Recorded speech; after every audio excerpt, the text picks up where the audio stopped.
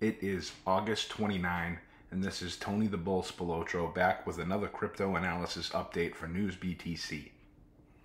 Today I'm going to look at Litecoin, considering its recent overperformance over Bitcoin and Ethereum. I am going to try to highlight why this is happening and why LTC could continue to outperform both cryptocurrencies despite it lagging for the last several years and the Ethereum merge coming up. I get a lot of hate for the fact that I like Litecoin. It is among the most like Bitcoin, yet faster. It has regulatory acceptance and supported by major brands like PayPal. And it's the cheapest coin on their list. Thus far, that hasn't mattered at all, but it could be a catalyst for a quick turnaround when and if it ever does matter. I can't deny that, much like Bitcoin, Litecoin could need to complete an expanded flat correction before this is all over. This would be quite nasty for Litecoin holders, so I definitely don't want to rule it out. But looking at the RSI and the LMACD, things look a lot more healthy for Litecoin than other top cryptocurrencies. With a little push, Litecoin could set a higher high on the RSI. This is a buy signal according to the tool's creator, J. Welles Wilder Jr., and in the past started off major bull runs in LTC, especially when combined with the breakout of an RSI downtrend resistance line. Using time cycles, we can see that the RSI, LMACD, and price bottoms at similar points.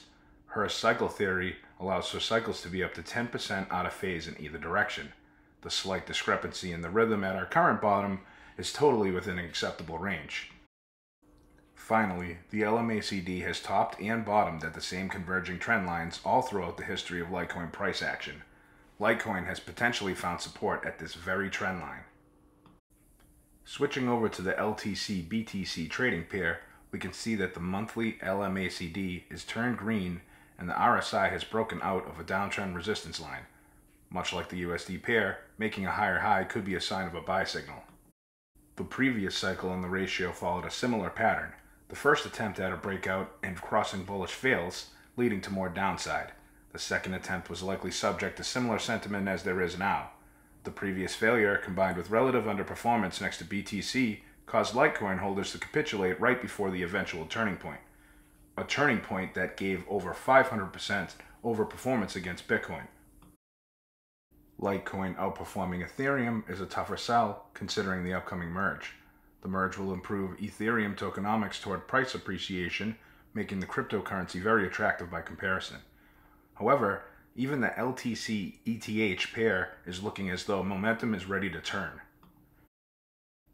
In our last chart, we once again are comparing Litecoin to Bitcoin and Ethereum but side by side using USD pairs to demonstrate that Litecoin tends to outperform both assets towards the end of a crypto market cycle. Although Litecoin lags behind Bitcoin, clearly during the last cycle once momentum turned, the move was massive. Litecoin rallied from $4 to 400 per coin in just over two thirds of a year. That's it for today's analysis. Remember to subscribe, like, share, and leave a comment. I'd love to get some feedback and feel free to make requests about future episodes. I also bought a new mic to improve the audio, but it arrived damaged from Amazon. Thanks, Bezos.